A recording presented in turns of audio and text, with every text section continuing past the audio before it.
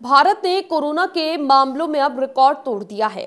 पिछले 24 घंटे में कोरोना के एक लाख सोलह हज़ार तीन सौ नब्बे केस सामने आए हैं। ये बुधवार की तुलना में छप्पन दशमलव पाँच फ़ीसदी ज़्यादा है। ऐसे में देश में अब तक कोरोना के तीन करोड़ से ज़्यादा केस सामने आ चुके हैं। भारत में सबसे ज़्यादा केस महाराष्ट्र से सामने आए, जहाँ पर छत्तीस हज़ार दो सौ पैंसठ मरीज़ मिले हैं, जबकि बंगाल में पंद्रह हज़ार चार सौ इक्कीस मामले सामने आए हैं और दिल्ली में पंद्रह हज़ार संतानवे तो तमिलनाडु में छह हज़ार नौ सौ से ज़्यादा मामले मिले हैं। केरल में चार हज़ार से ज़्यादा मामले आए हैं। ऐसे में देश में कुल मिलाकर अब केस जो है, पैंसठ दशमलव नौ सात फ़ीसदी केस इन्हीं पाँच राज्यों से मिले हैं। वहीं सबसे ज़्यादा चिंताजनक बात यह है कि इस बार कोरोना की चपेट में स्वास्थ्य कर्मियों का आंकड़ा बढ़ता जा रहा है। देश भर में अब तक तकरीबन एक हज़ार से ज़्यादा डॉक्टर्स और स्वास्थ्य कर्मी कोरोना की चपेट में आ चुके हैं। राज्यवर अलग आंकड़ों पर नज़र डाले तो बिहार में तीन सौ से ज़्यादा डॉक्टर और स्वास्थ्य कर्मी कोरोना पॉजिटिव पाए गए हैं और सबसे ज़्यादा मामले पटना से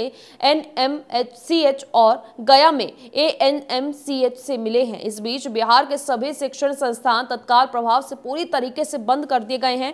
चार जनवरी की बैठक में नौवीं से बारहवीं तक की कक्षा पचास फ़ीसदी उपस्थिति के साथ खोलने का निर्देश दिया गया था। लेकिन कोरोना वायरस के मामलों में वृद्धि की वजह से गुरुवार को तत्काल प्रभाव से सभी शिक्षण संस्थान, स्कूल, कॉलेज, कोचिंग संस्थान सभी को बंद कर दिया गया था। इसके अलावा कोविड के लगातार बढ़ते संक्रमण के चलते सुप्रीम कोर्ट में भी अब सिर्फ़ वर्चुअल ही सुनवाई होगी।